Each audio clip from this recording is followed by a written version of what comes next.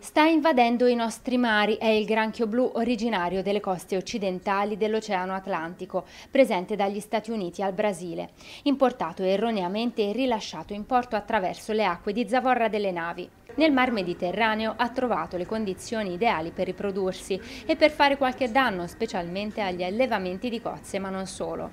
Sicuramente è un animale, un alieno, quindi è un animale che si sta introducendo in maniera anche un po' violenta all'interno del nostro habitat.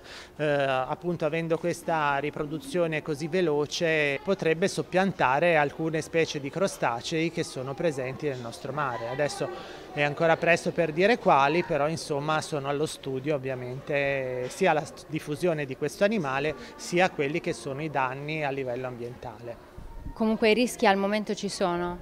I rischi al momento ci sono e, e, quindi insomma noi da oggi abbiamo anche una piccola vasca per raccontare appunto di questo animale e soprattutto di come possiamo aiutare il nostro ambiente a liberarsene.